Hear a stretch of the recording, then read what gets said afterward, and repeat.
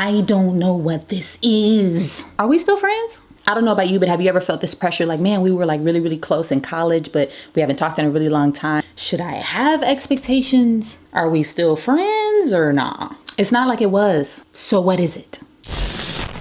The single most important key to making lifelong friends, guaranteed. What's up, y'all? It's your girl KB. So, a lot of people wonder what is the key to making lifelong friends? Because they want them. As we go through life, school, jobs, ministries, whatever, we make great life giving connections. But most of them don't often transition with us into our new seasons, which in some ways makes sense. But in other ways, it's kind of sad and unfortunate, and I don't think it has to be this way. It would be incredibly dope if we could make connections with people and then go our separate ways. But when we were able to reconnect in whatever season, we were able to pick up right where we left off. But the question is, how do you do that? Friendship tiers.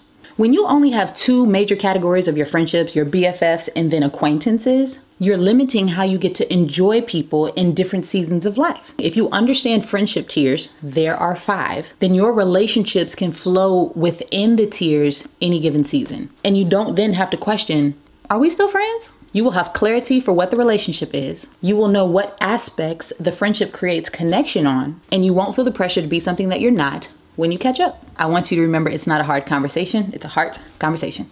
Love y'all.